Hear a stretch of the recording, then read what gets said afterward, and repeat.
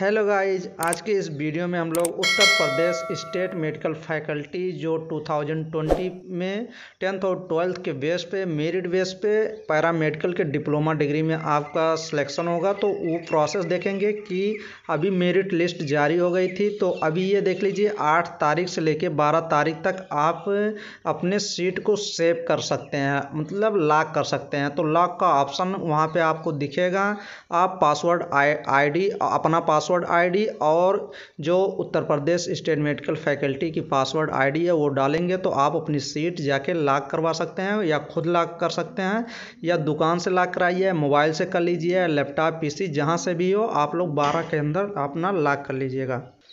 तो स्टूडेंट, अपना सीट जो है लॉक कर लीजिए आठ से बारह तारीख के बीच में और ये भी स्टूडेंट हम लोग देखेंगे कि कितने स्टूडेंट, कितनी रैंक अगर आपकी रहेगी तो एक सीटें आपको मिलने के चांस हैं। तो आ, ये समझिए यहाँ पे कितनी, एक वीडियो मेरी आज ही आएगी इस पर तो ये समझ लिए इसमें मैं बता दे रहा हूँ, इसमें गवर्नमेंट की सीटें जो हैं, मान लीजिए आपको तेईस सौ से लेके चौबीस सौ या पच्चीस सौ तक सीटें इसमें हैं। तो अगर आपकी कितनी आपकी अगर रैंक इसमें जो है तीन हज़ार और चार हज़ार के बीच में है, एक से लेके तीन हज़ार या चार हज़ार के बीच में है तो आप सीट ला कर सकते हैं, वो भी गवर्नमेंट कॉलेज के लिए। अगर गवर्नमेंट कॉलेज चाहिए तो ये समझिए पैंतीस सौ रैंक तक जिसकी मेरिट नंबर है, उसमें स्टूडेंट को एक सीट मिल सकते हैं।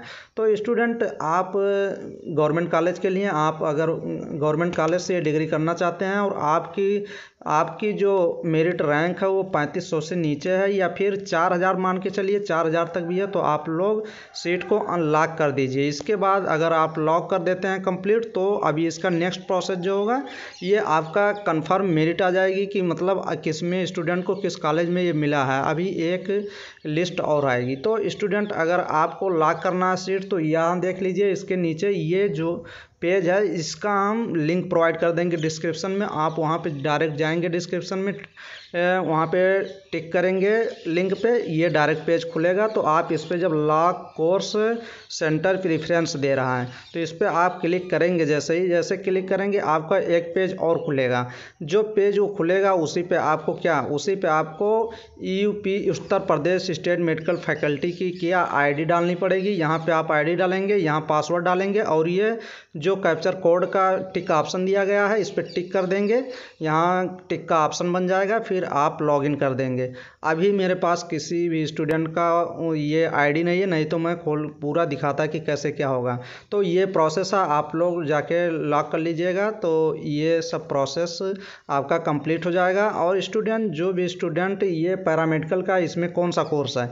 इसमें ओनली केवल डिप्लोमा के कोर्स हैं। अगर आप नर्सिंग पैरामेडिकल और फार्मेसी के 2020 में उत्तर प्रदेश यूनिवर्सिटी या मेडिकल साइंस सेफई टावा से करना चाहते हैं तो अभी इसका फार्म का इन्फॉर्मेशन कोई ऑफिशियल नोटिफिकेशन नहीं आया है।